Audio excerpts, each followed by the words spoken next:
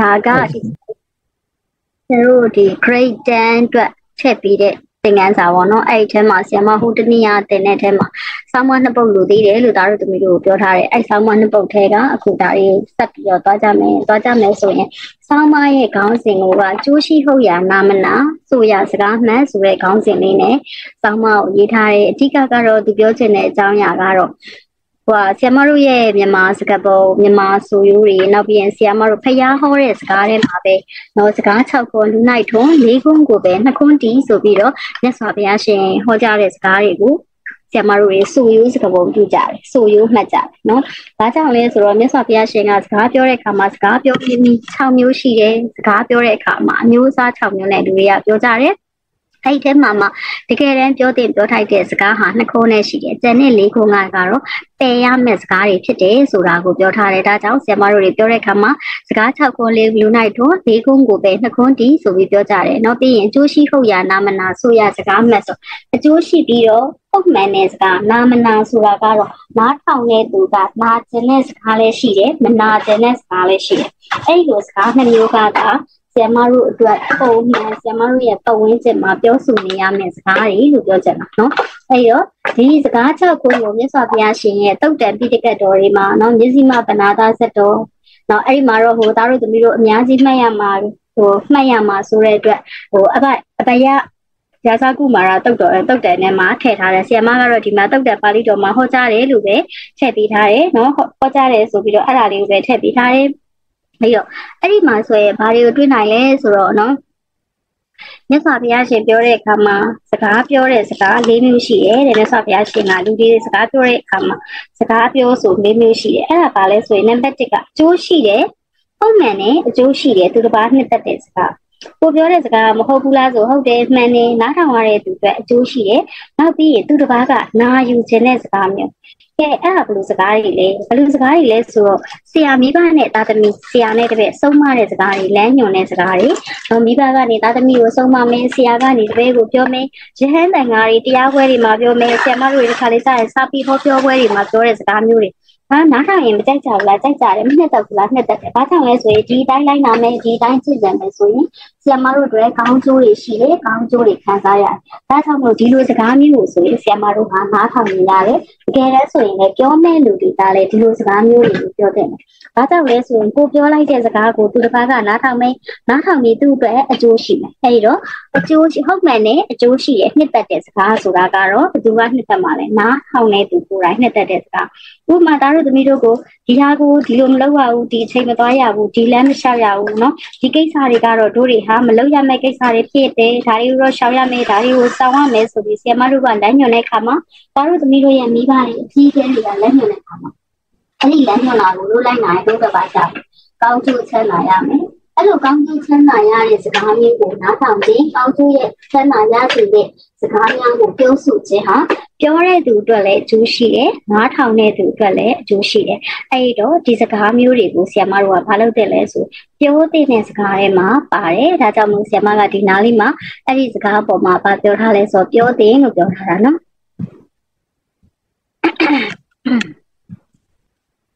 ဒီစကားလုံးမျိုးဆိုရင်ဆရာမတို့ဟာပြောတဲ့စကားတွေမှာပါတယ်ဒါကြောင့်မလို့ဒီစကားမျိုးကတို့တွေပြောရမယ်နောက်ပြီးရင်ဟုတ်မှန်နဲ့အကျိုးမရှိဘူးမနှစ်သက်တဲ့စကားတချို့စကားတွေကပြောတဲ့သူကပြောတာမဟုတ်ဘူးလားဆိုဟုတ်တယ်နားထောင်ရင်အကျိုးမရှိဘူးလားရှိတယ်ဒါပေမဲ့နာယူတဲ့ကလေးကမနာယူခြင်းဘူးအဲ့ဒါပြောရမယ်ဆိုတော့တို့တွေအများအပြားဖြစ်တတ်တဲ့တို့ရဲ့ပတ်ဝန်းကျင်မှာကြီးတဲ့သူကဆုံးမတဲ့ခါမှာငယ်ငယ်တဲ့သူကနားမထောင်ကြတာမျိုးဥမာအဖြစ်ကွာ သူရဲ့ကိုကြီးကိုရာကြီးနဲ့ပတ်သက်လာတဲ့အခါမျိုးတွေပေါ့နော်အဲ့ဒီဟာမျိုးမှာဟေးဒီလူကတော့မသိတော့ဘူးဒီလူကတော့သိတော့တယ်ဒီလမ်းကိုတော့မသွားနဲ့ဒီအလုပ်ကိုလည်းမလုပ်နဲ့လို့ဆီယမတို့ကိုတားတဲ့အခါမှာဆီယမတို့တွေကပဲတားမယ်တားတာဖြစ်စေဆီယမတို့ကိုငယ်ရွယ်တဲ့ချိန်တုန်းကမိဘတွေကတားတာပဲဖြစ်စေအဲ့လိုတားတဲ့အခါမှာကိုကဒီအလုပ်ကိုနှစ်သက်တယ်ဒီအကြောင်းအရာကိုနှစ်သက်တယ်စိတ်ဝင်စားတယ်အဲ့ဒီလိုအခြေအနေမျိုးကြရင်တို့တွေကဘာမလုပ်ကြဘူးလဲဆိုတော့ သူတို့ပြောတဲ့စကားကိုနားထောင်ရင်အကျိုးမရှိဘူးလားအကျိုးရှိတယ်သူတို့ပြောတာမဟုတ်ဘူးလားဟုတ်တယ်ဒါပေမဲ့ဆီယမတို့အနေနဲ့မနှစ်သက်ဘူးမကြားခြင်းဘူးနားမထောင်ခြင်းဘူးအဲ့ဒီလိုစကားမျိုးကိုဆီယမတို့ကအဲ့ဒီလိုစကားတွေပြောဆိုဆုံးမတဲ့စကားပေါ့ကွယ်တကယ်တော့ဒါအောင်မလုပ်နဲ့ ဒီဒီချိန်မသွားနဲ့ဒီချိန်မထွက်နဲ့ဒါမျိုးကိုတော့မသိဘူးမသိတော့ဘူးဆိုပြီးပြောတဲ့စကားမျိုးတွေအဲ့လိုစကားမျိုးကိုတို့တွေကကြားနားထောင်ရတဲ့လူကတော့မနှစ်တော့ဘူးဘာလို့လဲဆိုကိုယ်စီကတ်ထုတ်တဲ့စကားမျိုးနော်ကိုယ်စီကတ်ထုတ်တဲ့လမ်းညွန်နဲ့မလောက်ရဘူးလောက်ရမယ်ဆိုပြီးတော့ကိုယ်ကိုပြောတဲ့စကားမျိုးတွေအဲ့လိုမျိုးတွေကြားရင်တော့ဆရာမတို့တရားနားမထောင်နေကြအောင်ဒါပေမဲ့နားထောင်တော့ဖြစ်လေကိုယ့်အတွက်အကျိုးရှိရတယ်ပြောတဲ့သူပြောတဲ့စကားမဟုတ်ဘူးလားဟုတ်တယ်မှန်တယ်အဲ့ဒီလိုစကားမျိုးအဲ့ဒါဆိုရင်လေ ဘယ်မှာပါလဲဆိုရင်ဆရာမတို့ပြောတဲ့စကားတွေမှာပဲပါပါတယ်နော်အဲ့တော့ပြောတဲ့စကားတွေမှာပဲပါတယ်ဒါအဲ့ဒါဆိုရင်အကျိုးရှိဟုတ်ရနာမရနာမနာဆိုရစကားမှတ်ဆိုတဲ့စကားလေးကဒီနှစ်ချက်တည်းနဲ့အောင်ဆရာမတို့ပြည့်စုံနေတယ်လို့ပြောလို့ရတယ်ဘာလို့လဲဆိုတော့အကျိုးရှိတဲ့ဟုတ်မှန်ရကိုပြောတယ်နာတဲ့သူကနာကျင်တဲ့စကားရှိတယ်မနာယူကျင်တဲ့စကားရှိဒါပေမဲ့တို့ကဘာလို့ရမှာလဲပြောရမှာပဲဘာလို့လဲဆိုတော့တစ်ခါလေးကြာရင်တို့လူကြီးသူမတွေကမုန်းခံပြီးဆုံးမကြတယ် စိတ်ဆိုးခံပြီးဆုံးမကြတယ်နော်သူကသူနားထောင်ပြီးဖြစ်စေနားမထောင်ပြီးဖြစ်စေသူပြောတဲ့ပြောထိုက်တဲ့စကားကိုအကြိမ်ကြိမ်ခါကပြောကြရရတယ်နော်အဲ့လိုမျိုးမှာခဏခဏပြောကြခြင်းဆိုကြခြင်းကဘာလို့နဲ့တူလဲဆိုရင်ကျမတို့ရှင်သာရိပုတ္တရာကပြောသလိုပေါ့နော်ရှင်သာရိပုတ္တရာကဟိုဆရာဟိုအရှင်မြတ်ကလူတရားကိုဆုံးမရင်လည်းအကြိမ်တိမ်တစ်ကြိမ်ဆုံးမတယ်နှစ်ကြိမ်ဆုံးမတယ်ဆရာမတို့သားမိုင်းတွေဆိုတစ်ကြိမ်နှစ်ကြိမ်သုံးကြိမ်ဆုံးမရင်ဒီလူမကောင်းမှုဆိုတော့တော့သူကသူကောင်းနေမှာမကောင်းနေနေဆိုပြီးပြောတတ်ကြတယ်မလားရှင်သာရိပုတ္တရာကတော့အဲ့လိုမဟုတ်ဘူး ဒီတစ်ကြိမ်ဆုံးမတယ်နှစ်ကြိမ်ဆုံးမတယ်သုံးကြိမ်ဆုံးမတယ်အဲ့ဒီဆုံးမလို့မှအဲ့လူကမကောင်းသေးအကြိမ်တရာလဲဆုံးမတယ်အကြိမ်တစ်ထောင်လဲဆုံးမတယ်အကြိမ်တစ်တောင်းလဲဆုံးမတယ်မကောင်းကောင်းအောင်ဆုံးမတယ်အဲ့ဒါကတော့တစ်ဖက်ကဘာကိုကြည့်ရင်ပြောတွေးနိုင်လဲဆိုတော့ဆရာမတို့ဆုံးမတဲ့သူပြောတဲ့သူရဲ့စိတ်စေတနာပေါ်မူတည်ပြီးတော့မှဒီစကားဟာပြောတင်ပြောထိုက်တဲ့အတွက်ကြောင့်မလို့အကြိမ်ကြိမ်အခါခါအထက်တလဲလဲပြောနေတဲ့စကားမျိုးဒီစကားကိုနားထောင်ရင်းနဲ့ ချစ်လို့ပဲနားထောင်နားထောင်နားကြီးလို့ပဲနားထောင်နားထောင်အစမပြေပြပြမပြေပြဟိုကြောက်လို့ပဲနားထောင်နားထောင်အဲ့လိုနားထောင်တဲ့အခါမှာနားထောင်တဲ့သူတို့ဘာရမလဲအကျိုးကျေးဇူးရမယ်ဒါကြောင့်မို့ဒီစကားမျိုးဆိုရင်ဆရာမတို့ဟာမဖြစ်မနေပြောတဲ့စကားမျိုးနောက်တစ်ခုကကြတော့ဟုတ်မှန်တဲ့အကျိုးမရှိပဲနဲ့လူနှစ်သက်တဲ့စကား ဟုတ်မှန်တဲ့အကျိုးမရှိဘူးလူနှစ်သက်တဲ့စကားတော့ဥပမာအဖြစ်ဟိုလှပတဲ့မိန်းကလေးကိုသွားပြီးတော့ချောလိုက်တာလှလိုက်တာနော်အမအရန်လာတာပဲနော်အမရတိတ်ချောအမတိတ်ချောတာပဲအမကြည့်ရတာအမကိုကြည့်ရတာလေမင်းသမီးလိုပဲအဲအဲ့လိုမျိုးလေးပေါ့တို့တွေဆီမတို့တွေရဲ့ပတ်ဝန်းကျင်မှာပြောကြတယ်လေအဲ့လိုပြောတဲ့စကားတွေ မဟုတ်ဘူးလားဟုတ်တယ်လေပြောလိုက်တော့သူ့ရဲ့အလှတိုးသွားတယ်သူ့ရဲ့ကောင်းမှုမှုကတိုးသွားလားလျှော့သွားလားဘာမှမရှိဘူးဒါပေမဲ့ကြားရတဲ့သူကတော့နှစ်သက်တာပေါ့သူ့ကိုကောင်းတယ်လို့ပြောတယ်လှတယ်လို့ပြောတယ်အာနှစ်သက်စရာကောင်းတယ်လို့ပြောတယ်အဲ့ဒီပြောတဲ့စကားတွေပေါ်မှာသူနှစ်သက်တယ်ဒါပေမဲ့ပြောတဲ့အခါမှာပြောတဲ့သူအတွက်လည်းအကျိုးမရှိဘူးဆီယမတို့အပြောခံရတဲ့သူအတွက်လည်းအကျိုးမရှိတဲ့စကားမျိုးဒါကချောတဲ့လူကိုဟိုချောတဲ့လူလှတဲ့လူကိုလှတဲ့လူပညာတတ်တဲ့သူကိုတတ်တယ်လို့နော်အဲ့ဒီလိုမျိုးပြောတဲ့စကားမျိုးတွေပြောရမယ်ဆိုရင်ဆီယမတို့ရဲ့ဟို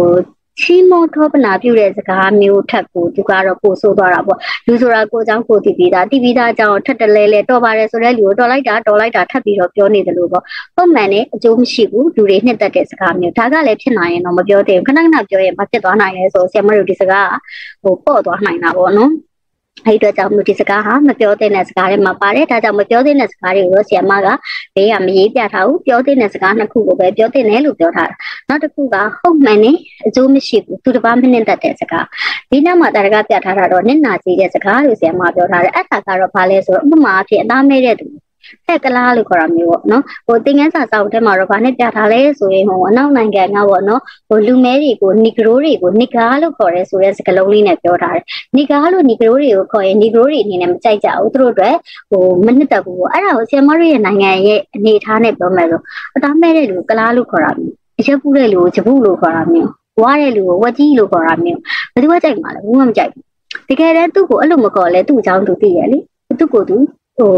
ကောင်းကြီးမကောင်းကြီးကြိုက်ချင်းမကြိုက်ချင်းကသူ့ဘောပဲမူတည်တယ်အဲ့ဒါကိုဆရာမတို့ကလူတွေလူအဲ့ဒီလူကိုသွားပြီးတော့ဟုတ်မှန်တယ်မဲတယ်မဲတဲ့လူကိုသွားပြီးတော့ဟာငမဲတို့နော်ငမဲတို့နောက်ပြီးမှအာငပူတို့ဂျပူတို့အဲအဲ့လိုမျိုးတွေခေါ်တာမျိုးတွေပေါ့အဲ့ဒါကဟုတ်မှန်လားဆိုဟုတ်တယ်လေဒါပေမဲ့သူ့ကိုပြောလိုက်လို့သူ့အတွက်အကျိုးရှိလားအကျိုးမရှိဘူးသူ့အတွက်လည်းအကျိုးရှိလားမရှိဘူးသူဟာကနားထောင်တာနှစ်သက်လားဘူးမှမနှစ်သက်ဘူးအသားမဲတဲ့လူကိုသွားဟစ်ကလာရီလို့ခေါ်တာမျိုးဘူးမှမနှစ်သက်ဘူး နောက်နောက်ပြီးတဲ့အခါမှာဝါတဲ့သူဝက်ကြီးရေလို့ပြောပြောဘူးမှမနှစ်သက်ဘူးအဲ့ဒီလိုသူတကားကိုနစ်နာဖို့အတွက်ရည်ရွယ်ပြီးပြောတဲ့စကားမျိုးဆိုရင်ပြောတဲ့စကားမျိုးမှာပါပါတယ်နောက်တစ်ခုကကြတော့ဟုတ်မှန်မဟုတ်မှန်ဘူးအကျိုးကလည်းမရှိဘူးသူတစ်ပါးနှစ်သက်တဲ့စကားအဲ့ဒါကတော့လိန်လေလှည့်ပြားတဲ့စကားရဲ့နောက်တစ်ခုကကြတော့အတင်းအပြင်းစကားရဲ့ထဲမှာပါတယ်သူတစ်ပါးကိုပြောတဲ့အခါမှာသူတစ်ပါးက နော်သူတစ်ပိုင်းရဲ့အတင်းဖြစ်မဥမာအဖြစ်ဟဲမဲ့ဘသူကြီးအမကိုတော့လေဘသူကဘလို့ပြောနေတာနော်အဲ့ဒါကိုကျမကြားလာလို့အမကိုပြန်ပြောပြတာဆိုတာမျိုးပေါ့နော်အဲ့ဒီစကားမျိုးတွေ နောက်ပြီးတဲ့အခါကျရင်လူတစ်ယောက်နဲ့တစ်ယောက်ကိုမတည့်အောင်ဂုံချောတဲ့စကားမျိုးတွေလိန်လည်ပြီးပြောတာတွေဂုံချောတဲ့စကားတွေလိန်လည်တဲ့ပြောတဲ့စကားတွေဆိုတော့ဟုတ်ဟုတ်ဟုတ်ဟုတ်နော်အဲမလှလာလိုက်တာမကြည့်လို့ကောင်းလိုက်တာအဲအဲ့ဒါမျိုးတွေကကြည့်ကောင်းတယ်မကောင်းဘူးကကိုယ်စိတ်ခံစားချက်နဲ့ပဲဆိုင်နောက်တစ်ခုကသူလည်းသူ့ကိုယ်သူသိရပဲတော့အဲ့လိုအနေထားမျိုးမှာဆရာမတို့ကသွားပြီးတော့သူ့ကိုအဲကြည့်ကောင်းတာတို့ကြည့်မကောင်းတာတို့ဘာတို့ညာတို့အဲ့လိုစကားစကားလုံးမျိုးတွေပေါ့နော်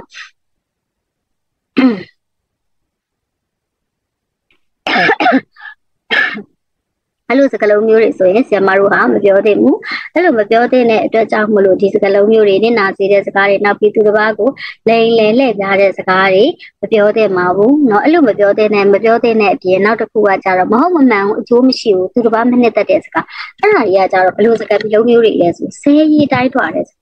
ဘသူကကြိုက်မှလဲကိုကိုလာဆဲတာဟုတ်တယ်မလားကိုကိုလာဆဲတဲ့စကားလုံးဘူးမှမကြိုက်ဘူးကိုကိုအဖြစ်ပြောတဲ့စကားလုံးကိုဘယ်သူမှမကြိုက်ဘူးကိုမနှစ်သက်တဲ့စကားလုံးမျိုးတွေကိုသူတစ်ပါးကိုမပြောသလိုကိုကိုယ်တိုင်မပြောသလိုသူတစ်ပါးပြောရင်လည်းဆရာမတို့တွေမနှစ်သက်ကြဘူးเนาะအဲ့လိုမနှစ်သက်ကြတဲ့ဟိုစကလုံးမျိုးတွေဆိုဖြစ်နိုင်ရင်ဆရာမတို့တွေမပြောသင့်ဘူးဒါကြောင့်မလို့ဒီဆောင်းပါးလေးမှာတော့ဘာတွေပဲတွေ့ရလဲဆိုတော့ဒီဆောင်းပါးလေးမှာ ဆီယမတို့ကပြောတင်ပြောထိုက်တဲ့အကျိုးကျိုးရှိဟုတ်ရာနာမနာဆိုရစကားမှန်ဆိုရဲဆိုတဲ့အတာစကားပြောတဲ့နီး6နည်းရှိတဲ့လူတွေစကားပြောနေတဲ့အကျိုးအကျိုးအကြောင်းမျိုးအစားကိုခွဲရင်6မျိုးရှိပါတယ်အဲ့ဒီ6မျိုးထဲမှာမှဆီယမတို့ပြောတင်ပြောထိုက်တဲ့စကားဟာ2မျိုးပဲရှိတယ်အကျိုးလည်းရှိရမယ်ဟုတ်လည်းဟုတ်ရမယ်နားတဲ့သူနားကျင်တဲ့စကားလည်းရှိတယ်လို့မနာကျင်တဲ့စကားအဲ့2မျိုးနှစ်သက်တာနဲ့မနှစ်သက်တာအတူတူပေါ့နော်နားကျင်တဲ့သူကနားကျင်တဲ့နှစ်အဲ့ဒါကိုနားနားကျင်တဲ့ဆိုတာကိုနှစ်သက်တယ်လို့ဆီယမတို့ယူထားတယ်မနာဘူးဆိုတာတော့မနှစ်သက်တယ်ဆိုတဲ့စကားနဲ့ယူထားတဲ့အတွက်ကြောင့်စကားပြောမယ်ဆိုရင်မြတ်စွာဘုရားရဲ့သုံးတန်နဲ့ကအတိုင်းလာတဲ့အတိုင်းပြောရင်စကားပြောဒီ6မျိုးရှိတယ်စကား6ကိုလူနိုင်ထုံးဆိုတဲ့အတိုင်းစကားပြောနည်း6မျိုးရှိတဲ့အချက်မှာမှာဆီယမတို့ပြောတဲ့စကားဟာဟုတ်မှန်တဲ့အကျိုးရှိတယ်သူတစ်ပါးနှစ်သက်တဲ့စကားနောက်တစ်ခုကဟုတ်မှန်တဲ့အကျိုးရှိတယ်သူတစ်ပါးမနှစ်သက်တဲ့စကားမျိုးကိုမဖြစ်မနေပြောတဲ့စကားပါပါတယ်အဲ့တော့ကျန်တဲ့စကားတွေဖြစ်တဲ့ဟုတ်မှန်ပြီးတော့အကျိုးမရှိဘူးသူတစ်ပါးနှစ်သက်တယ်။ဘာဖြစ်နိုင်ရင်မပြောသင့်မပြောသင့်နဲ့မပြောသင့်ဘူးမပြောအပ်ဘူးမပြောထိုက်တဲ့စကားမျိုးတွေ။နောက်တစ်ခုကဟုတ်မှန်တဲ့အကျိုးမရှိဘူးမနှစ်သက်တဲ့စကားသူတစ်ပါးကိုနစ်နာအောင်ပြောတဲ့စကားမျိုးဒါမျိုးတွေလည်းဆရာမတို့တွေမပြောသင့်ဘူး။နောက်တစ်ခုကမဟုတ်လည်းမဟုတ်ဘူးအကျိုးလည်းမရှိဘူးသူတစ်ပါးနှစ်သက်တယ်။လိန်လေလှည့်ပြားတယ်မြှောက်ပင့်ပြီးပြောတယ်နော်ပြီးရင်သူတစ်ပါးနဲ့ဟိုလူတစ်ယောက်နဲ့တစ်ယောက်ကြားမှာဂုံချောပြီးပြောမယ်။နော်ဂုံချောပြီးပြောတဲ့စကားလေးတွေအတင်းပြင်းပြောတဲ့စကားတွေအဲ့စကားတွေကတကယ်တမ်းဆိုဝစီဒုစီရိုက်ထဲပါတဲ့အတွက်မပြောသင့်တဲ့စကားတွေနောက်ပြီးမမဟုတ်မမှန်အကျိုးမရှိမနှစ်သက်တဲ့စကားဆိုကိုယ့်ကိုဘယ်သူကမှဆဲရေးတိုင်းထွာတာအောင်မကြိုက်ဘူးအဲ့လိုဆဲရေးတိုင်းထွာတာတွေကိုယ့်ကိုနဲ့ညူစုဆောင်းမြောင်းတာတွေအဲ့လိုစကားလုံးမျိုးတွေဆိုရင်တို့တွေဟာမပြောသင့်ပါဘူးဒါကြောင့်မလို့ဆရာမတို့ဒီကလေးတွေကိုတားတို့တပီတို့ကပြန်တင်မယ်နော်ပြန်တင်ပေးကြမယ်ဆိုရင်စကားပြောတဲ့အခါမှာဒီ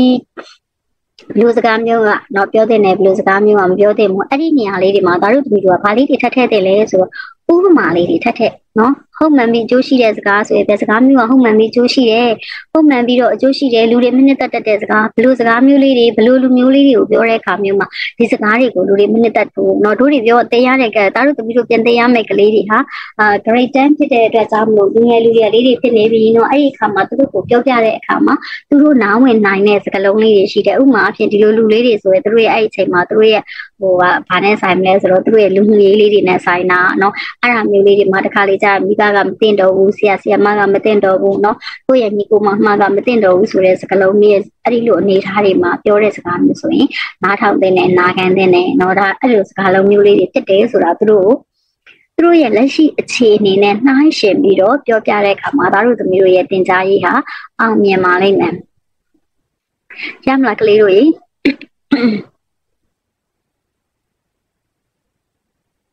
ကဲဒီထဲမှာဆရာမအောင်မေးစရာရှိလားမေးစရာရဲ့မေးချင်တာရဲ့ရှိလားကလေးတို့ရှိပါဦးရှင်ရှိပါဘူးဟုတ်ကဲ့ပါအဲ့ဒါဆိုနောက်တစ်ခုသွားမယ်နော်နောက်တစ်ခုကတော့ဆရာမတို့နားထောင်တတ်တဲ့အလိဒါကတော့လူလူဦးလာရေးထားတဲ့ဆောင်းပါးလေးတစ်ပုဒ်ပဲဖြစ်တယ်လူလူဦးလာကတော့ဓမ္မဦးဆုံးဆရာကြီးက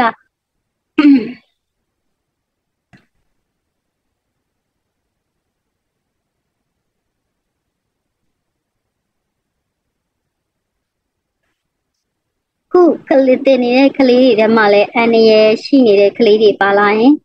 ပါတယ်ဆိုရင်သားတို့သမီးတို့အသက်အန္တရာယ်ကအရေးကြီးတဲ့အတွက်သင်ခန်းစာကိုဆရာမ PowerPoint ကိုတို့ရဲ့ group ထဲမှာထည့်ပေးမယ်နော်အန္တရာယ်ကင်းအောင်ယင်နေကြပါ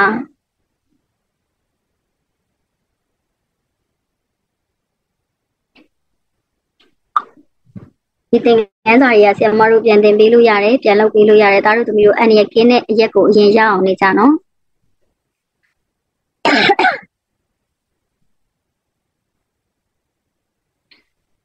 အခုအန်ရနေရာမှာအန်ရဇုံထဲမှာကြာရောက်နေရင်ထွက်လို့ရတယ်နော်ကလေးတို့ထွက်ပြီးတော့ကိုအန်ရကင်းမဲ့နေရာကိုသွားကြပါ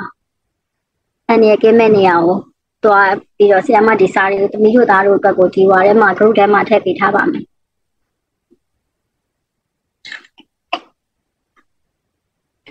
ကဲအဲ့တော့နားထောင်တဲ့အလေးကိုကြည့်မယ်ဆိုရင်ညူရူလာရဲ့လက်ရစာဆရာကြီးကစရေးတဲ့အခါမှာဒါလေးကိုကြည့်ရင်သားတို့သမီးတို့တွေဘာလေးပါကြည့်လို့ရလဲဆိုရေးကိုရေးသွားရေးသားသွားတဲ့ပုံစံလေးကိုကကြည့်လို့ရတယ်အဲ့ဒီမှာသားတို့သမီးတို့မှာ test တွေလည်းဒီချက်ကြီးပေးထားတယ်လို့ဒီချက်တွေ့တယ်နော်အဲ့ဒီမှာသားတို့သမီးတို့ကကိုယ့်ဘက်ကိုပြန်ရှာလဲရပါတယ်အဲ့ဒီ test ထဲမှာနားထောင်တဲ့အလေးကိုရေးထားတဲ့အခါမှာဆရာကြီးကပထမဦးဆုံးအဲဆရာကရေးစာရေးသူကရေးတဲ့အခါမှာအဲနားထောင်တဲ့အလေးကိုချက်ချင်းနားထောင်ရမယ်လို့တမ်းပြီးမပြောဘူး နားထောင်မှုကိုရောက်ဖို့အတွက်ပထမဦးဆုံးစပြောတဲ့အခါမှာလူတိုင်းဟာကိုယ့်ကိုယ်ကိုပြစ်ရှာတဲ့နဲ့ဆိုတာလေးနဲ့စပြီးတော့ရေးထားတယ်။အဲ့ဒီခါမှာလူတိုင်းဟာကိုယ့်ကိုယ်ကိုပြစ်ရှာတဲ့နဲ့ဆိုတော့ဆောင်းမပတ်တဲ့သူအနေနဲ့နည်းနည်းတတိတော်ထားသွားတာပေါ့ဟဲ့ဘာကြောင့်ပြစ်ရှာရမှာလဲဆိုတဲ့တွေးနေပေါ့။ပြီးတော့မှအပြစ်ရှာတဲ့အခါမှာဘလို့ပြစ်ရှာရမလဲကိုယ့်ရဲ့အချစ်ဆုံးမိတ်ဆွေဒါမှမဟုတ်ကိုယ့်ရဲ့ချစ်တဲ့ခင်တဲ့သူတွေ ကိုယ့်ရဲ့အိမ်သူအိမ်သားကိုလည်းကိုယ့်ကိုတတိထားပေးဖို့အဖြစ်ကိုတတိပေးဖို့ပြောတဲ့နဲ့ဆိုတာလေးနဲ့လူဆိုတာလူတိုင်းမှာအမားနဲ့မကေဘူးအနည်းရရှိတယ်เนาะအဲ့အမားကများကြာလာရင်အမှားကဘာဖြစ်လာနိုင်လဲအမှန်ဖြစ်နိုင်တယ်ဒါကြောင့်မလို့ကိုကိုကိုအပြည့်ရင်ရှာမယ်ပြီးရင်ကိုယ့်ရဲ့အပြည့်ရှိမရှိကိုလည်းကိုယ့်ရဲ့ပုံဝန်းကျင်ကလူတွေကိုကိုကိုပြောစီခြင်းတယ်ဘာကြောင့်ပြောစီခြင်းလဲလဲဆိုပုံဝန်းကျင်ကလူကကိုယ့်အပြစ်ကိုဖုံးပြထားရင်ကိုယ့်အပြစ်ဟာတစ်သက်လုံးပါသွားရင်အပြစ်ကနေဘာဖြစ်သွားမလဲအချင်းကြီးဖြစ်သွားနိုင်တယ် ဒါကြောင့်မလို့ဆရာကြီးကကိုကိုကိုအပြစ်ရှာမယ်ပြီးရင်ကိုယ့်ရဲ့ပတ်ဝန်းကျင်ကလူတွေကလည်းကိုယ့်အပြစ်ကိုရှာပေးကြဖို့တတိပေးထားဖို့တော့တတိထားဖို့ကိုပြောတင်ပါတယ်ဆိုပြီးတော့ ဟွာစာကိုစပြီးတော့စိတ်ဝင်စားအောင်ဆွဲဆောင်ပြီးတော့ရေးထားတယ်ပြီးတဲ့အခါမှာကိုကိုကိုပြန်လည်ဆန်းစစ်တဲ့နဲ့ဘာကြောင့်လဲဆိုရင်ကိုချစ်တဲ့သူတွေခင်တဲ့သူတွေမိတ်ဆွေတွေရဲ့တတိပေးခြင်းကိုခံယူတဲ့နဲ့ဆိုတာလေးနဲ့ထပ်ပြီးတော့သူပြောချင်တဲ့အကြောင်းအရာကိုခိုင်မာအောင်ထပ်ပြီးတော့ရေးထားတယ်ပြီးတော့မှဒီလိုလုံးမှသာတိုးတက်နိုင်ပါတယ်ဆိုပြီးတော့ဒါလိုလုပ်ခြင်းရဲ့အကျိုးကျေးဇူးကိုအနောက်ကနေဆက်ပြီးတော့ရေးလာ အဲ့လိုရေးလာခြင်းနဲ့မှာဘာပြောချင်လဲလူတွေဟာနော်ကျမတို့လူတွေဟာဘလို့ဖြစ်လဲကိုကိုကိုနော်ဟိုဗလာထားပြီးတော့နှိမ့်ချစစ်ဆဲဆက်ဆံမှသာချစ်ခင်ရင်းနှီးတဲ့သူတွေကပြောတဲ့စကားတွေကြတော့မှသာကျမတို့တတိထားပြပြကြမယ်အဲ့ဒါမှတူတက်မှုရှိမှာဘာဘာလို့လဲဆိုတော့တို့တွေကအမြဲတမ်းကိုကိုကိုမှန်တယ်လို့ထင်တယ်လေကိုကိုကိုမှန်တယ်ကိုကတော်တယ်ကိုကမှန်တယ်ကိုကဘယ်တော့မှအပြစ်မရှိဘူးလို့ဒါရထင်တတ်ကြတယ်အဲ့လိုထင်တဲ့အခါမှာအမားတွေဟာအမှန်ဖြစ်လာမှာဆိုတဲ့အတွက်ကိုကိုကိုအရင်ဆုံးတတိပေးမယ်ကိုရဲ့မိတ်ဆွေတွေကတတိပေးတာကိုလည်းခံယူကြမယ်ဒါမှသာတတိပေးတာကိုခံယူမှကိုမှားလားမမှားဘူးလားဆိုတာကိုကိုကိုစမ်းစစ်ရင်တိုးတက်နိုင်ပါတယ်ဆိုပြီးတော့တိုးတက်ခြင်းတဲ့သူတွေဘာလုပ်ရမလဲဆိုတာကိုဆွဲဆောင်ပြီးတော့ရေးလာတယ်ရေးရင်းနဲ့မှလူတွေရဲ့အဓိကချွင်ရင်ချက်ဆီယမတို့သားတို့သမီးတို့တွေတို့ပတ်ဝန်းကျင်မှာပေါင်းသင်းဆက်ဆံတဲ့အခါမှာအဓိကချွင်ရင်ချက်ကဘာလဲဆိုစကားပြောရင်လူပြောတဲ့အပြည့်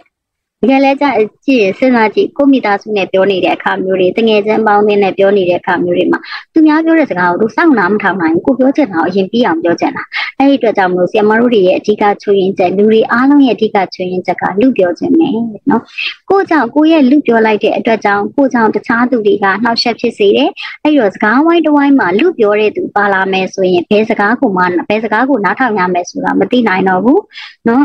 နောက်ပြီးတဲ့အခါကျရင်ဘု து စကားကိုနားထောင်ရမယ်ဆိုတာကိုမသိနိုင်ဘူးနောက်ဆုံးတော့နားထောင်နေတဲ့သူတွေကဘု து စကားမှနားမဝင်တော့ဘူးဘာကြောင့်လဲဆိုတော့ကိုကိုယ်တိုင်ပဲပြောချင်တာလေသူများပြောတာကိုဆရာမတို့တွေနားမထောင်ခြင်းကိုကိုယ်တိုင်ပဲပြောချင်တဲ့ကိုကိုယ်တိုင်ပဲသိချင်တဲ့အဲ့ဒီအတွက်သူတစ်ပါးစကားကိုလူပြောတဲ့အခါမှာ စကားလူပြောတဲ့သူတွေများလာရင်ကိုပြောနေတဲ့အကြောင်းအရာကိုပဲလူတွေကအရေးကြီးရလို့ထင်လာလေဥပမာဆရာမကအခုစာတင်နေတဲ့အချိန်မှာဆရာမပြောချင်တာတွေပြောနေအဲ့ဒီအချိန်မှာဒါတို့သမီးတို့ပြောချင်တဲ့စကားလည်းရှိမှာပဲအဲ့ဒီလိုအနေထားမျိုးမှာဒါတို့သမီးတို့ပြောခွင့်မပေးဘူးပြောခွင့်မတားဘူးเนาะအဲ့ဒီပြောခွင့်မတားတဲ့အခါကျတော့ကိုပြောသွားတဲ့အကြောင်းကအရေးကြီးတယ်သူများပြောတဲ့အကြောင်းအရေးမကြီးဘူးဆိုတဲ့ပုံစံမျိုးတွေရောက်လာတယ်အဲ့လိုမျိုးမြင်လာတဲ့အခါမှာနောက်တစ်ခါစကားဝိုင်းနေဘူးအဲ့ဒီလူတွေနဲ့အတူတူစကားတစ်ခုကိုဝိုင်းဖွဲ့ပြောတဲ့အခါမှာ ကိုကသာရှေ့ကပြောနေရစကားကိုပြောချင်လို့ဒါတစ်ခုပြီးတစ်ခုတစ်ခုပြီးတစ်ခုပြောလိုက်တာနောက်ပိုင်းမှာကိုဘာပြောနေတာကိုမသိတော့ကိုပြောတဲ့စကားကိုကိုမမှတ်မိတတ်တဲ့အထိကိုလူတွေဟာဖြစ်လာတတ်ကြတယ်ဘာကြောင့်လဲဆိုညာကြီးပြောချင်တဲ့အတွက်ကြောင့်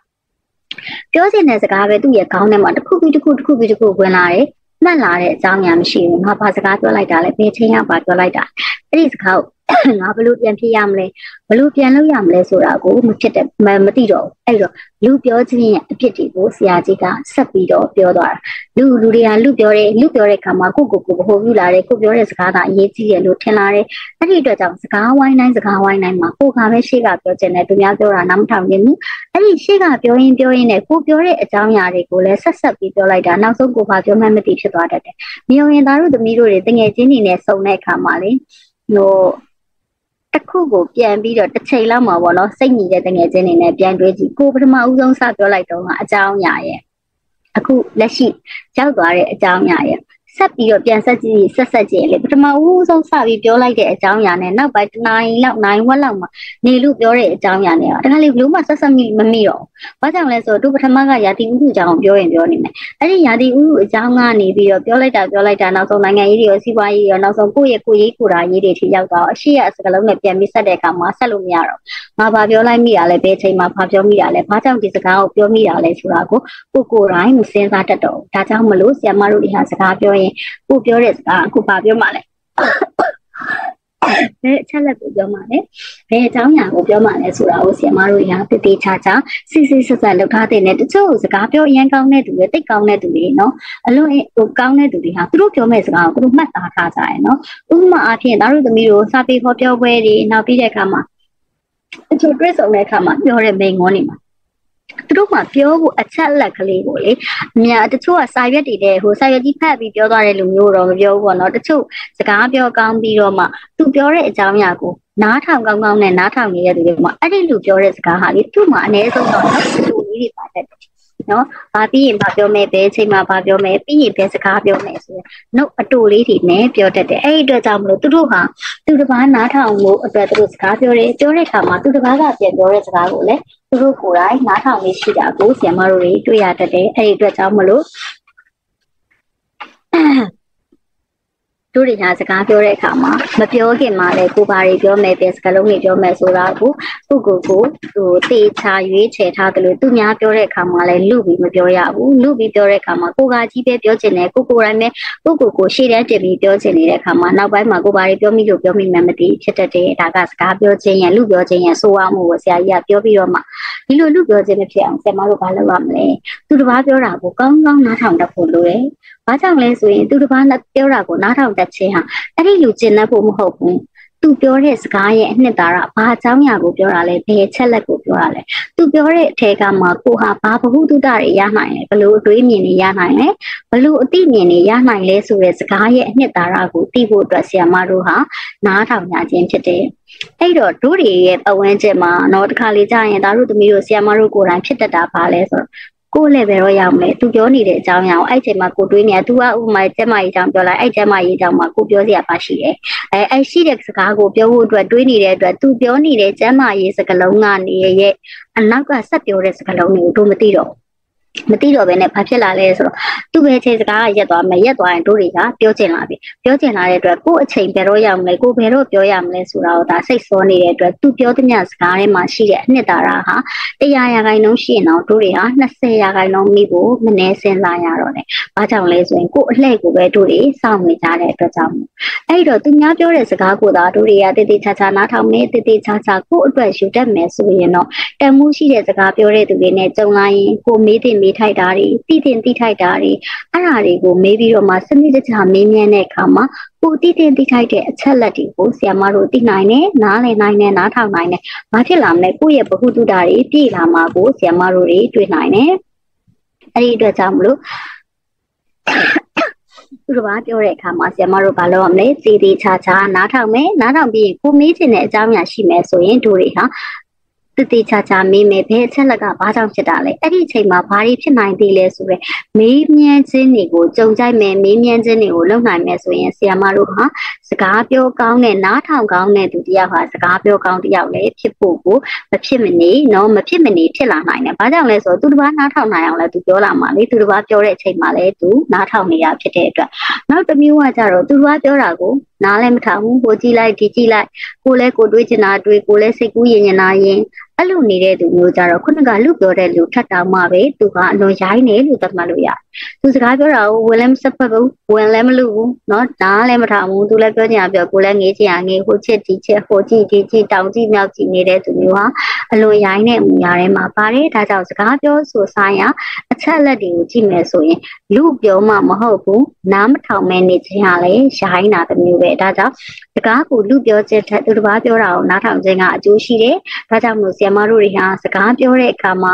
စကားဝိုင်းတစ်ခုခုကိုရောက်လာပြီးအခြေအနေတစ်ခုခုနဲ့ကြုံ ံလာပြီးဆိုတဲ့အခါမှာဆီယမတို့ဟာနားထောင်တတ်တဲ့အချိန်ကိုလေးချစ်လေးချင်ပြောထောင်တင်တယ်မဖြစ်မနေသူများပြောတဲ့စကားကိုနားထောင်မှသာ ကိုပြောချင်တဲ့အကြောင်းအရာအချက်အလက်ကိုလည်းကိုဟာထိထိမိမိပြောနိုင်တဲ့အနေအထားကိုရောက်လာမယ်။ဘာကြောင့်လဲဆိုသူပြောတဲ့အခါမှာပြောတဲ့အကြောင်းအရာရဲ့ဗဟုသုတအပြင်ပြောသွားတဲ့စကားပြောဆိုပုံအခြေအနေကိုပါလေ့လာရင်းနဲ့ဆီယမတို့တွေဟာဘာလေးကိုတော့သူကဘလို့ပြောသွားတယ်ဘလို့ပြောတဲ့နေရာမှာငါတို့တွေလည်းဘလို့မျိုးထပ်ပြီးတော့လေ့လာလို့ရတာပဲနားလည်လို့ရတာပဲဆိုတာကိုဆီယမတို့တွေကြည့်သွားလို့ရတယ်။ဒါကြောင့်မလို့စကားပြောတဲ့အခါမှာစကားတွေပဲပြောနေရုံမရဘူး။မလုပ်ရအောင်မလဲ။သူများပြောတာကိုလည်းဆီယမတို့တွေနားထောင်ရအောင်မယ်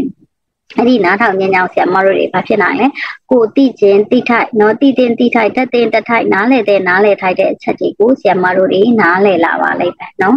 ကဲအဲ့ဒီတော့ဒီဆရာမတို့ဓတ္တမရန်မှာတော့ဘာတွေရှိမလဲဆိုရင်ဓတ္တမရန်ရဲ့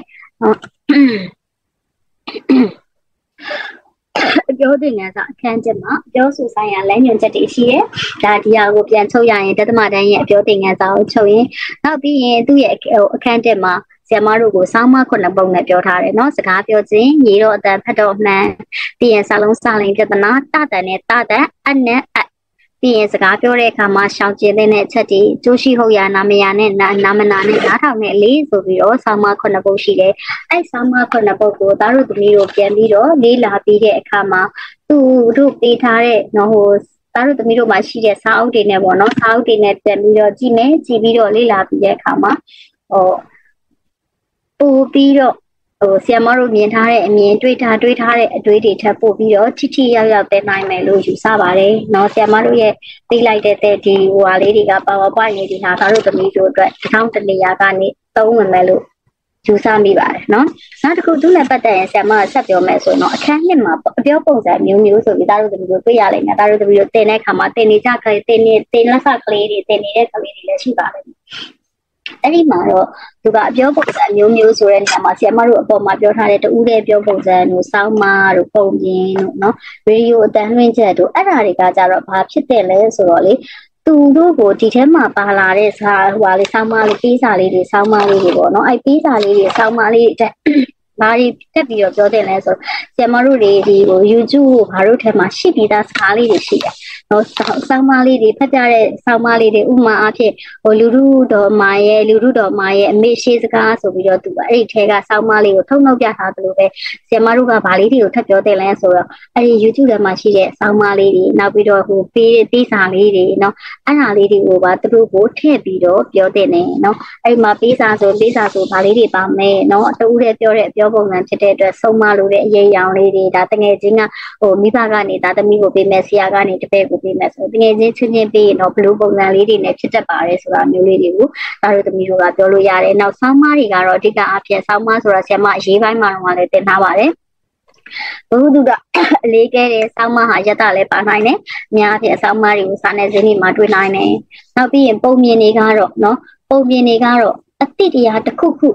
ပြီးတဲ့အခါမှာပုံမြင်နေနဲ့ပြောလို့ရှိတယ်နော်ပြီးတဲ့အခါပုံမြင်နေမှာရည်ရွယ်ချက်ပါတယ်ပုံမြင်ကိုနားထောင်တဲ့အခါမှာတော့ပြောတဲ့သူကသူကတစ်ဆက်တည်းပြောသွားတာဆီယမတို့ကဘာလို့ ਆ လဲနားထောင်ရုံနဲ့နားထောင်မှာမျိုးပေါ့နော်အဲ့ဒါလေးတွေကိုဆီယမ PowerPoint လေးတွေလုပ်ပေးရမှာကလေးတို့ဟိုပုံမှန်တင်နေတဲ့ကလေးဟိုဆရာကြီးဆီယမတွေကတော့သူတို့ကတော့ဘာနဲ့ပဲသွားလဲဆိုတော့ပုံမှန်မြင်နေကြပေါ့နော်ပုံမြင်နေချက်သူတို့နဲ့နီးစပ်တဲ့ပုံမြင်လေးတွေကိုအစားထိုးပြီးသွားတယ်လို့ပြောရဲဒါတို့တပည့်တို့တင်တဲ့အခါမှာရောဘယ်လိုတင်ကြလဲ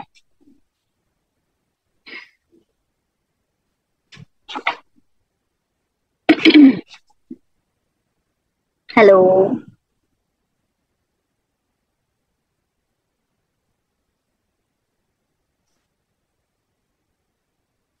hello hello ကြားပါရဲ့ဒီရှင်ဒါတို့သမီးတို့မြေပြင်မှာတင်နေကြပြီလား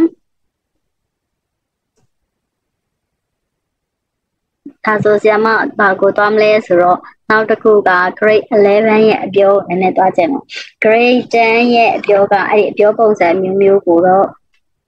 လိုအပ်မယ်ဆိုရင်တော့ထပ်လုပ်ပေးမယ်ဒါတို့သမီးတို့အချင်းချင်းနည်းနည်းထောက်ပြန်တိုင်မြင်ပြီးကြည့်ကြည့်လိုက်နောက်တစ်ခုဒီဟာတွေကအကုန်လုံးကလေသူကပုံမြင်နေတူတဲ့ပြောပုံစံတွေပဲတောက်လျှောက်ဖြစ်တဲ့အတွက်ကြောင့်မလို့ဆရာမတို့ကဒါကိုကိုယ်တိုင်များများဖတ်မယ်ဖတ်ပြီးတော့ကလေးကိုပြောမှသာအဆင်ပြေမှာပေါ့နော်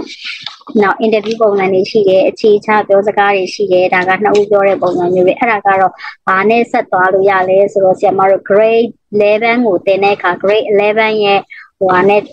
ဗာလဲအခန်းနှစ်နဲ့ပြန်ချိတ်လို့ရတယ်အဲ့ဒီချိန်ကျတော့မှဆရာမကတော့အဲ့ဒါကိုချိတ်မလို့စဉ်းစားထားတယ်။ဒါတို့သမီးတို့ပြန်ချိတ်ပြီးအဲ့ဒါလေးနဲ့ပြန်နေမျိုးတော့ဒီအပြောဆိုဆိုင်ရာလဲညွှန်ချက်တွေနော်အပြောပုံသဏ္ဍာန်လေးတွေပါလာတတ်တဲ့ grade 12အဲ grade 11ကျအဲ့ grade 11ရဲ့အခန်း3နဲ့ဒါတို့သမီးတို့ကိုဆရာမပြန်ချိတ်ပြီးလို့အဲ့အခန်းနှစ်ကိုချက်ထားလိုက်တာ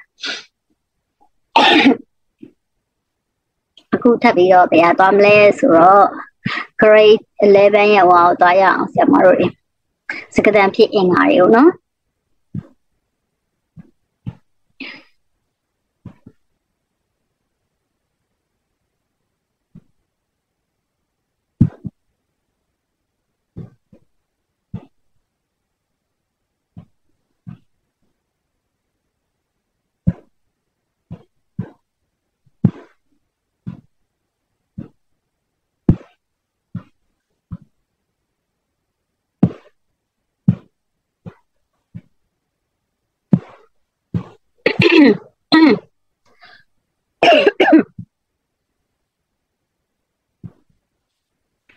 ကဲ grade 11ရဲ့ဧကတတမတန်းနော်စနစ်တည်းမြန်မာစာသင်ကြားရေးတက်မှာဆိုရင်ဆရာမတို့ဘာတွေပါမလဲဆိုတော့အပိုင်း၃ပိုင်းပါမယ်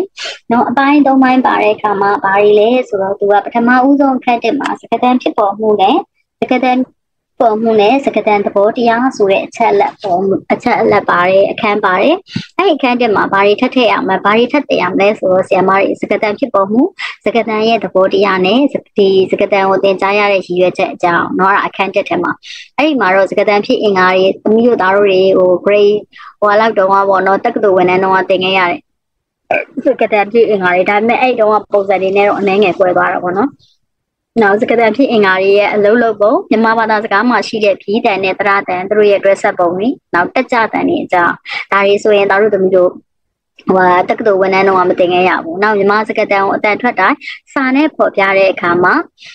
အသုံးပြုရတဲ့အတန်ထွက်လမ်းညွှန်တွေဒါတွေကိုဆရာမတို့တွေသင်ကြားရမယ်။ တင်ပြီးတဲ့အခါမှာအဲ့ဒါအခန်းတစ်ကိုဆက်ပြီးတော့ကြည့်မယ်ဆိုရင်အဲ့ထဲမှာမှာစကတန်ပြည့်အင်ကနော်ဖြီးတန်တရတန်ပြီးရင်ဖြီးတန်နဲ့တရတန်အတွဲဆက်ပြီးမြန်မာဘာသာစကားရဲ့တက်ကြတန်ဒီမြန်မာစကတန်ရဲ့အတန်ထွက်လမ်းညွှန်ပြီးရင်အခန်းနှစ်ကိုရောက်တဲ့အခါမှာတော့ဆရာမတို့တွေပါတင်ရမလဲဆိုတော့စကားပြောတဲ့အခါမှာစောင့်ရန်ရှောင်ရန်နေဘလို့စကားမျိုးစကားမျိုးကိုပြောမယ်ဘလို့စကားမျိုးဆိုရင်ဆရာမတို့တွေမပြောဘူးဆိုတာမျိုးတွေပေါ့နော်အဲ့ဒီမှာစကားပြောချက်ကောင်းရင်စကားပြောကောင်းမှုဘာတွေလိုအပ်လဲဘယ်ချက်လက်တွေပါရမလဲနော်ပြီးရင်ဘလို့အခြေဟိုရင်းရင်ကြီးကြီးချစ်ချင်းငယ်ငယ်ဖြစ်ဖို့ဘာလို့ဘလို့မျိုးတွေတို့တွေပြောကြရမလဲဆိုတဲ့အချက်ပေါ်မူတည်ပြီးတော့ပြောသွားကြမယ် နောက်အခန်းသုံးကကြတော့အပြောပုံစံမျိုးမျိုးကိုသင်ကြားရတဲ့ရည်ရွယ်ချက်တွေဖြစ်လာတယ်နော်အဲ့တော့လက်တွေ့စကားပြောတဲ့အခါမှာအသုံးပြုရတဲ့စကားပြောအပေါ်ပြောပုံစံမျိုးမျိုးအနက်မှာစကားစမြည်ပြောခြင်းကဘယ်လိုလဲစကားဝိုင်းဆွေးနွေးခြင်းမှာဘာတွေပါမလဲကြာပန်းစကားပြောခြင်းတို့စကားရည်လူခြင်းကျေးဇူးတင်စကားပြောခြင်းဒီအချက်လက်တွေကိုလေ့လာဖို့အတွက်ပြောထားတယ်နော်အဲ့တော့အချက်၅ချက်တွေ့နိုင်တယ် အဲ့တော့ဒါကိုကြည့်မယ်ဆိုရင်အခန်း၃ခန်းတွေ့ရမယ်ဆရာမတို့ရဲ့ grade level မှာအခန်း၃ခန်းစကားတန်ဖြစ်အင်္ဂါပြီးရဲ့အခါကျရင်အပြောဆိုဆိုင်ရာလမ်းညွှန်ချက်တွေပြီးရင်အပြောပုံစံတွေဒါတွေကိုတော့ဆရာမတို့ကဘာဆီယမကဘာရင်းနဲ့တားလို့သမီးကိုပြန်ပြောမလဲဆိုတော့အခန်းသုံးရောက်ရင်တော့ grade 10နဲ့ပြန်ပြီးတော့တွဲပေးမယ်နော် ကဲအဲ့ဒီမှာစကတန်ဖြစ်ပေါ်ပုံနဲ့စကတန်ရဲ့သဘောတရားမှာစကတန်ဖြစ်အင်္ဂါတွေကိုတို့တွေကြည့်မယ်ဆိုရင်ဒီဟာကိုဘာကြောင့်တင်ရလဲဆိုတော့ဆရာမတို့တွေစကတန်ဖြစ်ပေါ်ပုံနဲ့လှုပ်ရှားပုံကိုသိရှိဖို့အတွက်နော်ပြီးရင်စကတန်ဖြစ်အင်္ဂါထဲမှာမှဆရာမတို့မှာလှုပ်ရှားနိုင်တဲ့စကတန်ဖြစ်အင်္ဂါတွေရှိတယ်မလှုပ်ရှားနိုင်တဲ့စကတန်ဖြစ်အင်္ဂါတွေရှိတယ်။ဘာတွေထဲမှာလဲဆရာမတို့ရဲ့ဂရေထဲမှာပဲနော်ဆရာမတို့ရဲ့ဥကောင်းမိုင်းထဲမှာပဲ ရှိတဲ့အင်္ဂါတွေဟာစကတန်တွေဖြစ်ပေါ်ဖို့အတွက်ဘယ်လိုပုံစံမျိုးနဲ့ဖြစ်တာလဲဖြစ်လာတဲ့အခါမှာလှုပ်ရှားနိုင်တဲ့စကတန်ဖြစ်ကဘယ်လိုစကတန်ဖြစ်အင်္ဂါဘာတွေလဲမလှုပ်ရှားနိုင်တဲ့စကတန်ဖြစ်အင်္ဂါဘာတွေလဲသူတို့တွေလှုပ်ရှားခြင်းမလှုပ်ရှားခြင်းကဘာအတန်တွေထွက်လာလဲဆိုတာကိုကြည့်မယ်အဲ့တော့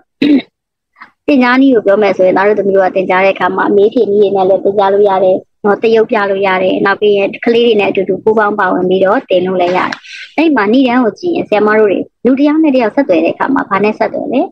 စကားနဲ့ပဲဆက်သွယ်ကြဟုတ်တယ်မလားစကားနဲ့ပဲဆက်သွယ်ကြတယ်ဆက်သွယ်တဲ့အခါမှာစကားတန်ဆိုတာဘလို့အတန်မျိုးကိုပြောချင်တာလဲတော့စကားတန်ဆိုတာဘလို့အတန်လဲအဲ့ဒီစကားတန်မှာမှစကားတန်ဖြစ်ဖို့ဆရာမတို့ဘာတွေလိုအပ်သေးလဲ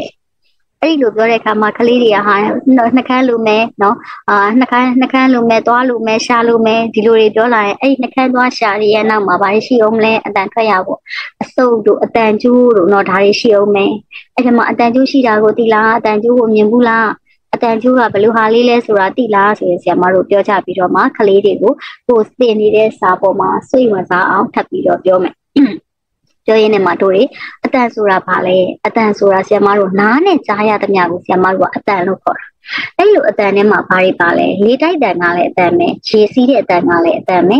နှိုင်းတန်ကလည်းအတန်ပဲကားတန်တွေတရိတ်ဆန်တန်တွေဒါတွေအကုန်လုံးဟာအတန်နဲ့အသေးပဲအဲ့ဒီမှာ လေတိုက်တန်ရေစီးတန်နော်တရိတ်ဆန်တန်လှိုင်းတန်အဲ့ဟိုင်မှာလူရဲ့နှုံစော်မှုမပါဘူးနော်ဆရာမတို့တွေလူရဲ့နှုံစော်မှုတွေနော်မဖြစ်ပေါ်လာဘူးအဲ့ထက်မှာကားတန်တို့စကတန်တို့မှာကြတော့လူတွေရဲ့နှုံစော်မှုတွေအားထုတ်မှုတွေဖြစ်ပေါ်လာပြန်ရောအဲ့လိုပါလာတဲ့အတန်တွေထဲမှာမှစကတန်ကိုတို့ထပ်ကြည့်ကြမယ်စကတန်ဆိုတာလူရဲ့နှုတ်ကထွက်တယ်နောက်တစ်ချက်ကလူချင်းချင်းပြန်လည်ဆက်သွယ်နိုင်တယ်ဒါကတော့သားတို့သမီးတို့နဲ့ရင်းနှီးပြီးသားစကလုံးလေးတွေပါနော်ပြီးရင်အနတ်အဓိပ္ပာယ်ရှိတဲ့အတန်တို့တွေအဓိပ္ပာယ်မရှိတဲ့စကားကိုပြောကြလို့စကတန်ဆိုတဲ့ကအနတ်အဓိပ္ပာယ်ရှိတယ်ပြီးရင်ပြောသူနဲ့နာသူကြားမှာထိရောက်တဲ့ဆက်သွယ်ရေးဂျားခံပစ္စည်းဟာစကတန်ပဲ။ဘာကြောင့်လဲဆိုရင်ဆရာမတို့စကားပြောတဲ့အခါမှာအဓိပ္ပာယ်မရှိဘဲနဲ့စကားပြောတခါလေတို့တွေပြောလိုက်တဲ့စကားမှာအဓိပ္ပာယ်မရှိဘူးဆိုရင်တော့တက်ပြောတာပဲ။ ဘာဒီပြောနေရလဲအဓိပ္ပာယ်လည်းမရှိဘူးလို့ဆရာမတို့တက်မိပြောတတ်ကြတယ်လေ။အဲဒီအတွက်ကြောင့်မို့ဆရာမတို့ဟာစကားတန်ဟာလူရဲ့နှုတ်ကထွက်မယ်လူချင်းချင်းအပြန်လည်ဆက်သွယ်နိုင်မယ်။နောက်တစ်ချက်ကဘာရှိရမလဲ။နတ်အဓိပ္ပာယ်ရှိရအဓိပ္ပာယ်ရှိတဲ့အတန်မှာဆရာမတို့ဟာစကတန်လို့သတ်မှတ်ကြတယ်ပြီးရင်ပြောသူနဲ့နာသူဆိုရဲလူနှစ်ယောက်ကြားမှာထိရောက်တဲ့ဆက်သွယ်ရေးဈာခံပစ္စည်းမို့လို့သူဟာစကတန်ဖြစ်ဆရာမတို့တွေသူ့ကိုစကတန်လို့သတ်မှတ်ကြတယ်အဲ့တော့ စကတန်ဘယ်လိုဖြစ်လာလဲဆရာမတို့တွေကဆရာမတို့တွေစကားပြောမယ်ဆိုရင်ဆုံးပါစားလောက်ကြလဲကလေးတို့ကဲဖြည့်ကြည့်ကြပါအောင်စကားပြောမယ်ဆိုရင်ဆုံးပါလောက်လဲ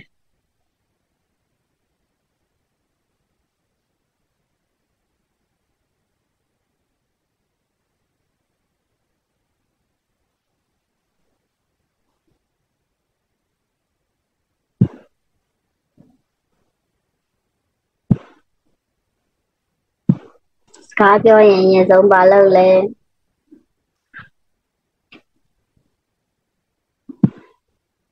အဲပါဇက်ဟာရဟုတ်တာပေါ့ပါဇက်ဟာလိုက်တာဘာလုပ်တာလဲအသက်ရှူလိုက်တာလေဟုတ်တယ်မလားအသက်ရှူလိုက်တယ်ဆိုတော့ကအဆုတ်သေးကိုလေရအောင်ဆရာမတို့ရှူသွင်းလိုက်ကြတာ နော်ဆရာမတို့ရဲ့အဆုတ်သေးကိုလေရအောင်လို့ဆရာမတို့တွေရှူသွင်းလိုက်ကြတယ်အဲ့ဒါအတွက်ကြောင့်မလို့အဆုတ်သေးကိုလေရင်ဝင်သွားတယ်ဟုတ်တယ်ပါဇက်ဟာရတယ်တက်ရှူရတယ်အဲ့ဒါကအဆုတ်သေးကိုလေဝင်အောင်ဆရာမတို့အဲ့ပါဇက်ဟာလိုက်တာဒီတိုင်းပေါ်ပေါ်ပြပြဟာလိုက်ကြတာမှမဟုတ်တာဟာလိုက်တာတဲ့တို့တွေမရှိုက်လိုက်ဘူးရှက်ပြီးတော့အသက်ရှူလိုက်တယ်အဲ့အသက်ရှူလိုက်တာကဆီယမတို့ရဲ့အဆုတ်ထဲကိုလေဝင်အောင်လို့ဆီယမတို့ထည့်လိုက်တာအဆုတ်ထဲကိုလေဝင်သွားပြီဆိုတဲ့အခါကျတော့မှတို့က အဆုတ်ထဲကနေလေဟာလေမျိုးဒီအဆုတ်ရဲ့လေလန်းကြောင်းလျှောက်တက်လာတယ်။နော်လေပြုံလျှောက်လေးလန်းကြောင်းလျှောက်တက်လာတယ်။တက်လာပြီးတော့မှဆီယမတို့ရဲ့လေမျိုးကိုရောက်တဲ့အခါမှာအတန်ကျိုးနဲ့တွေ့တယ်။အတန်ကျိုးဆိုတာသားတို့သမီးတို့စကားပြောတဲ့အခါမှာလေဘေးလေးကိုလက်လေးနှောက်တင်ကြည့်လိုက်။အဲ့ဒီမှာ ဆီယမတို့ရဲ့လေချောင်းလေးကလှုပ်ရှားနေရတယ်လေချောင်းလှုပ်တာမဟုတ်တော့အထဲကနေလှုပ်ရှားနေတဲ့တုံခါနေမှုကိုခံစားရတယ်အဲ့လိုတုံခါနေမှုခံစားရတာဟာဆီယမတို့ရဲ့တက်လာတဲ့လေဟာအတန်ကျိုးကိုဖြတ်လာတယ် အဲ့အတွက်အဆုပ်ကနေလေတက်လာမယ်တက်လာတဲ့လေကနေအတန်ကျိုးကိုဖြတ်မယ်အတန်ကျိုးကိုဖြတ်ပြီးသွားရင်ဘာဖြစ်သွားအောင်လဲဆိုတော့သူကဒီတိုင်းအတန်မထွက်သွားသေးဘူးစကတန်ပြုအင်္ဂါတွေနဲ့သူဟာထိတွေ့ရအောင်မယ်ဆရာမတို့မှာစကတန်ပြုအင်္ဂါတွေရှိရလေစကတန်ဖြစ်အင်္ဂါစကတန်ပြုအင်္ဂါလို့ပြောတယ်စကတန်ဖြစ်အင်္ဂါလို့ပြောစကတန်ကိုဖြစ်ပေါ်စေတဲ့အင်္ဂါတွေဘယ်မှာရှိလဲဆရာမတို့ရဲ့ကတွင်းထဲမှာရှိကတွင်းရဲ့အထက်ပိုင်းမှာလည်းရှိရဲ့ကတွင်းရဲ့အောက်ပိုင်းမှာလည်းရှိရဲ့ဟုတ်တယ်မလား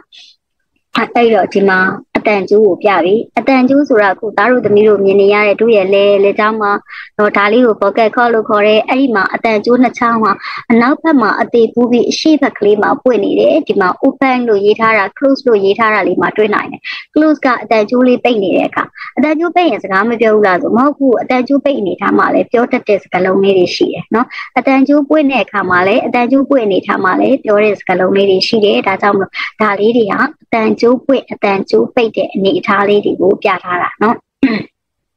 အဲ့တော့ဆရာမတို့အစုပ်သေးကိုအသက်ရှူသွင်းလိုက်တယ်ပြန်ထုတ်လာတဲ့လေဟာအထက်ကိုရောက်လာတဲ့အခါမှာအတန်ကျိုးလို့ခေါ်တဲ့လဲမျိုးအတွင်းမှာရှိတဲ့အမြင်လေးနှစ်ခုကိုဖြတ်တန်းရတယ်ဖြတ်တန်းပြီးတော့မှ green ထဲမှာရှိတဲ့စကတန်ဖြစ်အင်ကအစိတ်ပိုင်းနေနဲ့ထိတွေ့ပြီးတော့စကတန်ဖြစ်ပေါ်လာတာအဲ့တော့စကတန်မျိုးဖြစ်အောင်ဖန်တီးပေးတဲ့အင်ကအစိတ်ပိုင်းနေမို့လို့ဆရာမတို့ကသူ့ကိုဘာလို့ခေါ်လဲဆိုရင်စကတန်ဖြစ်အင်ကလို့ဆရာမတို့တွေခေါ်ကြပါတယ် အဲ့တော့စကတန်ဖြစ်အင်္ဂါကိုကြည့်ရင်ဆရာမတို့မှာနှစ်မျိုးတွေ့နိုင်တယ်အဲ့ဒါကလှုပ်ရှားနိုင်တဲ့စကတန်ဖြစ်အင်္ဂါနဲ့မလှုပ်ရှားနိုင်တဲ့စကတန်ဖြစ်အင်္ဂါဒါတွေကသားတို့တပီတို့နော်တက္ကသိုလ်ဝန်ထမ်းတော့သင်ခဲ့ပြီးသားတယ်လှုပ်ရှားနိုင်တဲ့စကတန်ဖြစ်အင်္ဂါဟာဘယ်မှာရှိလဲဆိုရင်ဆရာမတို့အောက်မေးချမ်းနဲ့ဆက်ဆက်နေတဲ့အင်္ဂါစိတ်ပိုင်း သူဟာစကတန်ဖြစ်ပေါ်ဖို့ကိုလည်းအကူအညီပေးတဲ့အတွက်နော်လှုပ်လဲလှုပ်ရှားနိုင်တဲ့စကတန်ဖြစ်အင်္ဂါတွေဖြစ်တဲ့အတွက်သူ့ကို grind လို့လည်းဆရာမတို့ခေါ်ကြတယ်။ဘာလို့လဲဆိုရင်စကတန်ဖြစ်ပေါ်ဖို့အတွက်သူကအကူအညီပေးတဲ့အင်္ဂါအစိတ်ပိုင်းနေမှုလို့ဆရာမတို့ရဲ့မျက်နာကိုတော့ထက်ချမ်းချမ်းကြည့်လိုက်မယ်ဆိုရင်အောင်မေးရုပ်ချမ်း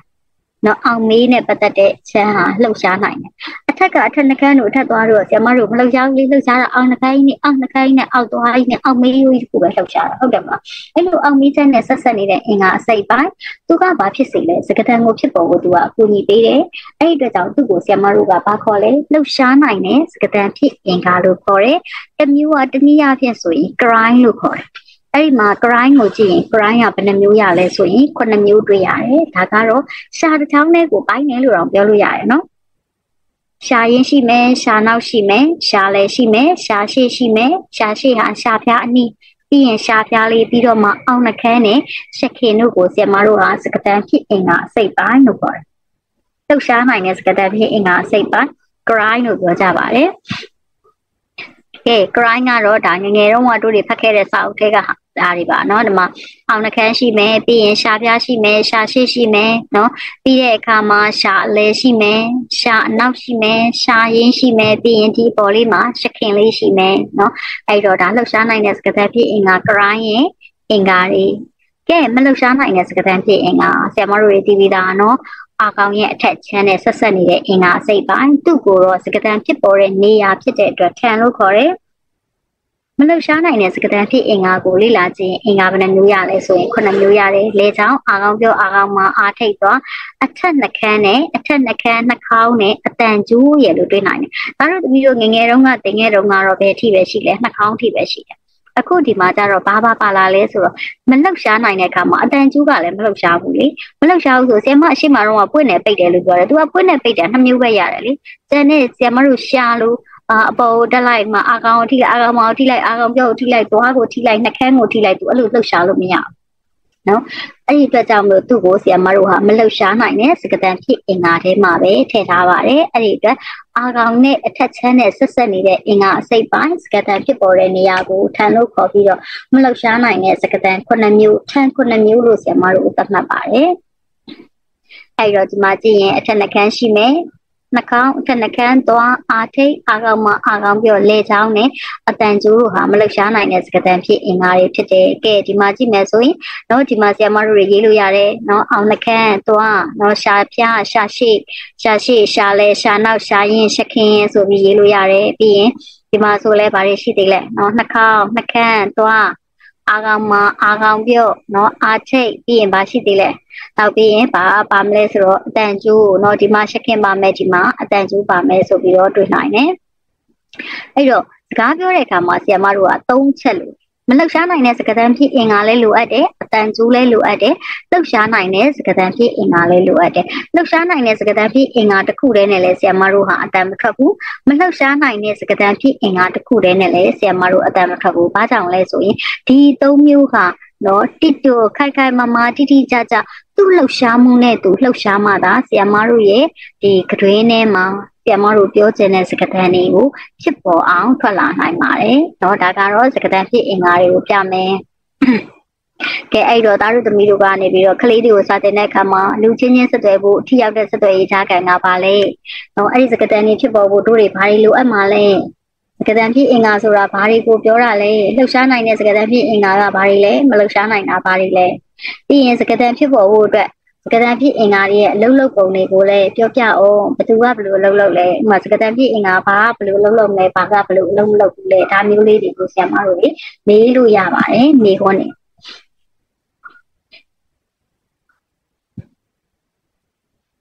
ကဲနောက်တစ်ခုကဖြီးတန်ကိုသွားမှာတော့ဖြီးတန်ဆိုရင်သားတို့သမီးတို့အရန်နောက်ကျသွားမယ်ဆိုတော့ဆိုတဲ့အတွက်ဆရာမကတော့အဲ့ဖြီးတန်ကို တို့တောက်ကြနေအတန်းယူခဲ့လျင်အဲ့ဖြီးတန်ကိုဆက်သွားမယ်နောက်ပြီးတော့လေသားတို့သမီးတို့လူကားတော့မဆုံးသေးဘူး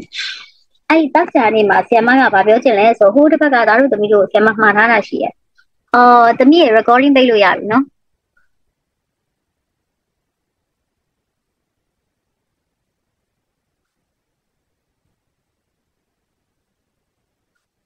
ဆီယမသမီးတို့သားတို့ကိုမြမကုံရင်ရာဇဝင်ဖတ်စာရှာထားလို့ပြောထားဘူးလားလို့ ပြောထားဘူးလားကလေးတို့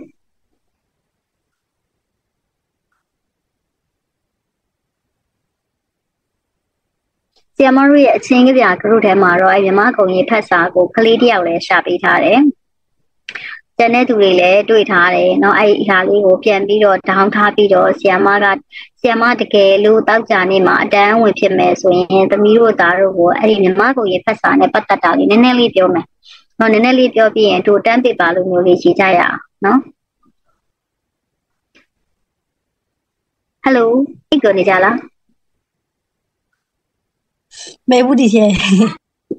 ဒီလေအတန်ကြီးအရန်တိတ်နေတော့အိမ်မအိတ်တော်သွားလားအောက်ကလည်းဘာမှမပြောကြဘူးဆိုတော့လေဒီဒီကျက်တော့နားထောင်နေရတယ်အဲဒီကျက်လည်းဖျားနေတော့အပန်းနားနေရမနေပြောနေရ ကဲအဲ့ဒါဆိုရင်ဆီယမကိုအဲ့ရှေ့ဒုတောက်ကြနေကိုဆီယမဝင်ဖြစ်မလားဒီချက်ကဝင်ဖြစ်မလားမသိဘူးဆီယမပဲဝင်ဖြစ်ဖို့များပါတယ်ဆီယမစာလေးတွေနည်းနည်းလေးကြံနေသေးလို့လေ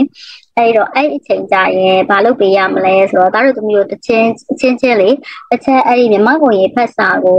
ဟိုဟာဆီယမတို့ group ထဲမှာရှိထားတယ်အဲ့ရှိထားတာကိုတစ်ချက် down လိုက် down လိုက်ပြီးအနည်းဆုံးတော့မာတိကာလေးဆီယမကိုဖက်လာခဲ့တယ်အဲ့ဒီထဲမှာမာတိကာကိုဖက်ပြီးတော့မှဆီယမတို့တွေဘာလုပ်လဲဆိုတော့ခေါင်းစဉ်လေးတွေနည်းနည်းခွဲကြရအောင်နော်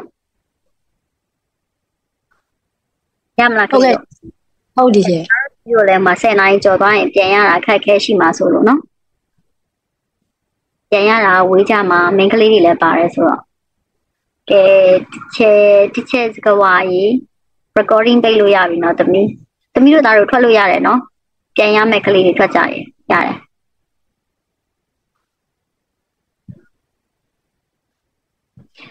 အနေရကင်းပေးရှင်းကြပါစေ အဲ့ဆို good night ပါနော်သားတို့သမီးတို့ထွက်ထွက်လို့ရတယ်